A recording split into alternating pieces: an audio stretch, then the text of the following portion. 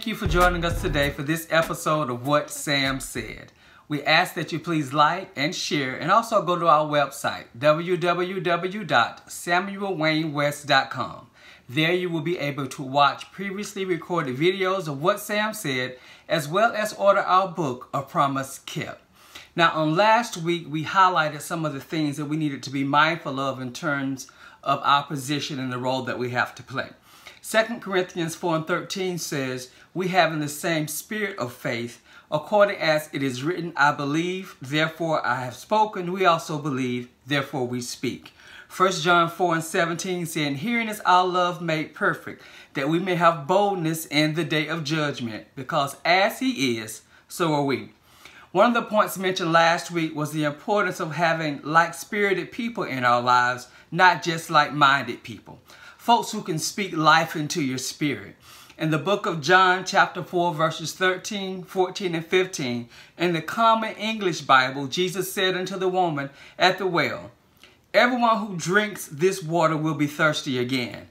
But whoever drinks from the water that I will give will never be thirsty again. The water that I give will become in those who drink it a spring of water that bubbles up into eternal life. That means just because the living water is offered doesn't mean that all of us will drink. For Jesus said to them that drink it, it will become a spring of water. It means there's something that we have to do. Sometimes we reach for folks in our lives who can only satisfy our thirst temporarily. By that I mean, have you ever had a conversation with someone and you left just as empty or void as you did prior to having the conversation? Have you ever eaten a meal that, that filled you up at the time, but you found yourself hungry a few hours later. Have you ever found yourself feeling some kind of way about a circumstance or a situation and had to muster up a praise? You didn't feel like praising God. You, you didn't feel like worshiping God, but you knew that you needed to get out of the state of mind that you were in. You were not there yet, but you knew unless you drew upon those living waters on the inside of you that you might be there longer than what you had anticipated. Have you ever been in a situation where it didn't work out like you prayed? Instead of delivering encouragement to a family member, a loved one, or a friend, you found yourself delivering a eulogy. Have you been there? I was riding home from work about a week after one of my best friends from college had transitioned and I had delivered the eulogy and, and as I was riding back home, I was thinking about some things and praising and worshiping God. But but a week or so had passed and I was leaving work and and I didn't feel like worshiping. I, I didn't feel like praising. I just felt like, oh God, you know, but I prayed and, and I thought I believed when I prayed and and and he still passed. And I know some of you've been there with family members and friends, but on that particular day, I was like, oh God, I I, I need to I, I need to be encouraged. You know, I, I who, who gonna encourage to encourage? I'm like, well, who gonna preach to me when I need someone to to give me a word of encouragement? And and as the tears began to flow down my face, and I started thinking of of, of prior experiences and, and journeys and the conversation that we had prior to his transition, you know, the tears just slowly started to to come, and I I, I never verbalized anything. I was just having this conversation in my heart to the Lord and I turned on the radio. Let me see if I can, you know, find a song. And Tasha Cobbs Leonard, Leonard was singing, Get Ready for Overflow. And I, I can still hear the words, you know, eyes haven't seen and, and, ears haven't heard the kind of blessing that's about to fall on you, that, that, that victory is here. And because that victory is here, kick defeat out the door, that, that God is about to get ready to do a new thing, get ready for overflow. And I listened to the words and I was crying and I was listening and I was just, you know, sometimes you, you know, you just glory to God. Glory to God. Glory to God. Glory to God. You know, you you you you, you putting on the garment of praise. And I'm like, I'm gonna, you know, after a while it was like glory, hallelujah, and hallelujah. And that's why I asked you earlier, have you ever had to muster up a praise? Have you ever been there needing God to comfort you and give you peace? All the while folks reaching out to you for you to encourage them. Have you ever cried out to God, well, who can I text? Who who can the preacher call? Who, who, who can I draw upon just to kind of, you know, send a word for me? Maybe if I just send a hello emoji to so-and-so and so that they'll respond and say how you doing so I can say man I, I just need a word from the Lord or maybe if I call so-and-so and so God maybe they'll maybe they'll speak a word of encouragement to you I'm just sitting in the car and listening to Tasha and she didn't pass singing because I, I put it on the you know the first time they sing but when you uh, put it back and the second time it's singing so she was singing and I was you know, just getting there. I was like, God, you know, I'm ready for overflow. You know, I'm getting ready to see something I've never seen. You ever been there? You know, you you you grieving like everybody else. It's like, God, I need to, I need to hear from someone. And as as I continue praying on the inside of me, never speaking a word, just before I was ready to start texting and calling folks and trying to work some things out on my own, the telephone rang and I'm like, devil, I bind you. This is a distraction. This is a distraction. And it rang again and I went over and I looked at the the number and I was like, oh, this is, you know, Pastor Jeff, you know, my brother, my brother from Detroit. Let me, let me just pick up the phone. You know, maybe, maybe I can help him. Maybe I can encourage myself by encouraging him. And shortly after the conversation started, he just kind of went into kind of saying some things over me. And I was like, you know, God, forgive me. For, forgive me for trying to work this out on my own when you already had orchestrated divinely for the right person that I needed to, to, to call me and, and to speak something in me that satisfied my spirit and, and my soul. And, and, and I just, I was impatient and I thought about, you know, from the natural standpoint, I can just hear God saying, you know, Sam, just wait. I heard you. I heard your cry from the inside. I, I got my angels working on something for you, brother. I, I got a meal prepared just for you. They had to go to the store and the line was longer than usual, usual and then the, the, the, the card swipe machine wasn't working, but just just hold on, hold on. I, they, they got the food. They had to go on 285 and there was an accident, so I had to recalculate and send them another route, but they're coming. I heard you. I got the person that you need to satisfy you, but then he had to work 30 minutes overtime, but he's coming just wait. He has an answer for you. Psalms 27 and 14 says, Wait on the Lord. Be of good courage, and he shall strengthen thine heart. Wait, I say, on the Lord. The Passion Translation version says it this way of Psalms 27, 13 and 14. Yet I totally trust you to rescue me one more time so that I can see once again how good you are while I am still alive. Here's what I've learned through it all. Don't give up. Don't be impatient. Be entwined as one with the Lord. Be brave and courageous and never lose hope. Yes, keep on waiting for he will never disappoint you. The meal was being prepared. My answer was on the way. But the cornbread just had to get a little browner on the top. Uh, Sam, just wait a couple of minutes. I heard you.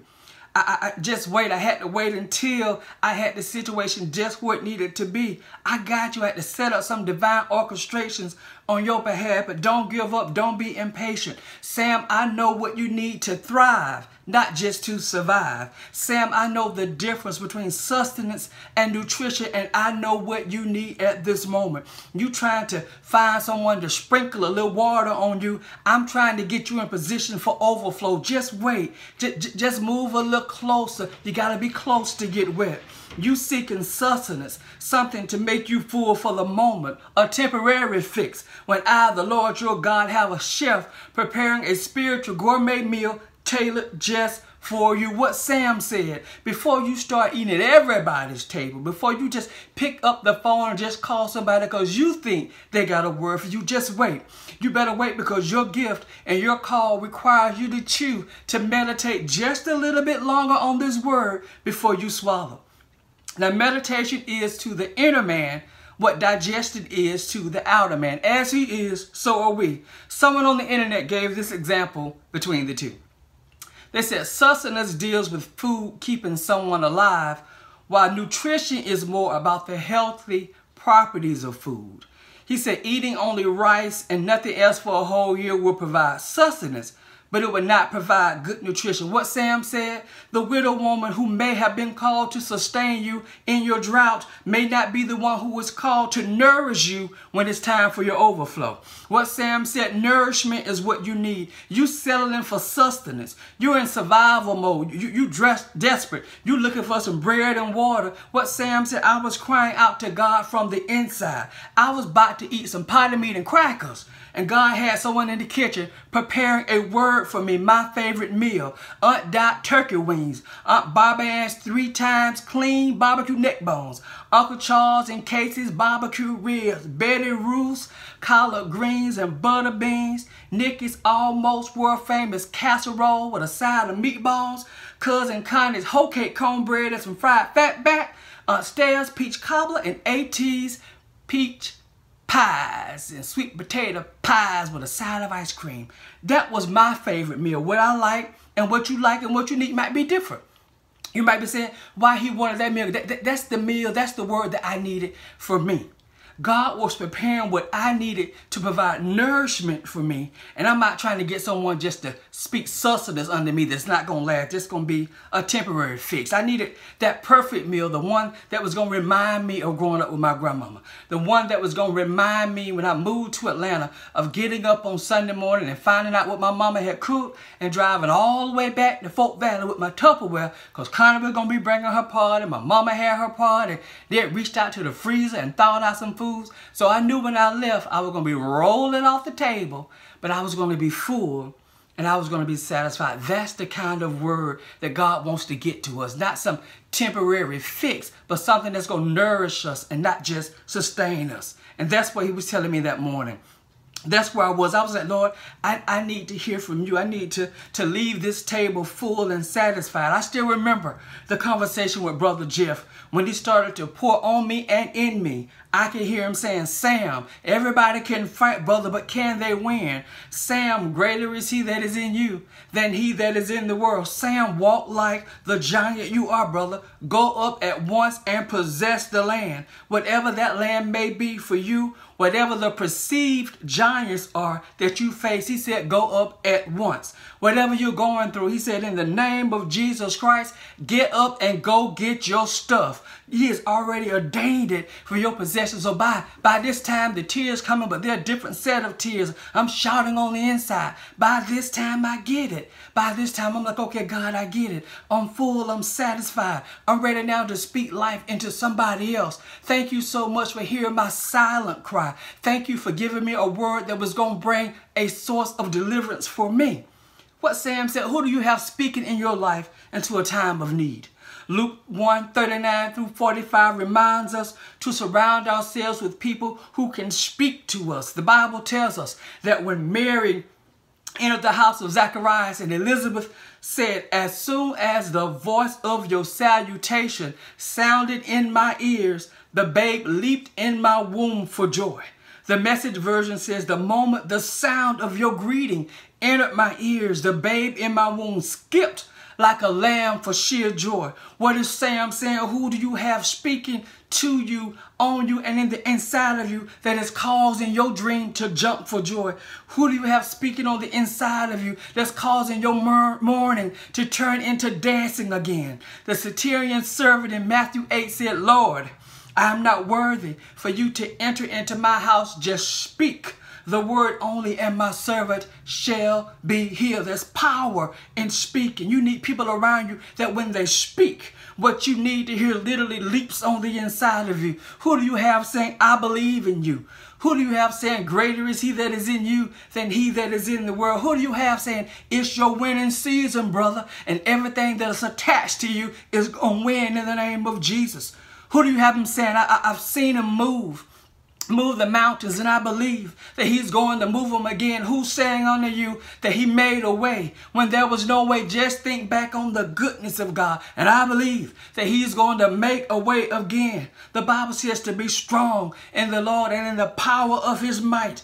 Isaiah 42 and 6 says, I have called thee in righteousness and will hold thine hand and keep you. Now there's a difference between holding on and be in hell, when you hold on, you're depending upon your physical strength. But when you're being hell, you're depending upon the strength and the might and the grace of Almighty God. Psalm 88 and 2 says, Let my prayer come before thee, incline thine ear unto my cry. What am I saying? That he hears you. He hears those silent cries, and we just let him divinely orchestrate our answer, then we will be able to leave his presence full, complete, lacking nothing in the name of Jesus. I didn't say a word, yet he heard the desires of my heart. Isaiah 65 and 24 says in the International Standard Version, Before they call, I will answer, and while they are still speaking, I'll hear. The International Children Bible says, I will provide for their needs before they ask. I will help them while they are still asking for help, while I'm still crying out to Him, while I'm asking for something I ain't really know what I needed. He was preparing someone to speak what I needed so that I could leave full. How would you know? When He speaks through them, because that what you need to hear will start leaping on the inside of you in the name of Jesus. What he says to one, he says to all, go get your stuff. Now to him who is able to keep you from falling and to present you faultless before the presence of his glory with exceeding joy. To the only wise God, our Savior, be glory and majesty, dominion and power, both now and forever. Amen, amen, and amen. Just a word of advice to you before we end this series today. Romans 10 17 says, faith comes by hearing and hearing by the word of God. And I've spoken to many people who say it, it wasn't the first time that they caught the spirit of the message through what Sam said, or even when they read the book of A Promise Kept. But it was that second time and that third time. And remember, I said that you might not need a word today, but when you hear it, just kind of put it in the freezer. So when you need a word, you can just kind of take it out and throw it out and be able to feast upon it. So what I'm saying is listen to it again. Then go back and listen to it again and then share it with someone. So that way when, when someone starts talking to you, you'll be like, no, they just talking now. They just talking out the side of their neck. But when someone starts speaking to you and it resonates with you on the inside, then to God be the glory. Thank you again for joining us for this episode of What Sam Said As He Is, So Are We Part 4. Thank you again for liking this message, subscribing to our YouTube channel, and sharing it with family and friends. And please don't forget to go to the website www.samuelwaynewest.com and order your copy of A Promise Kept, and you can order from Amazon. God bless you and get ready for overflow.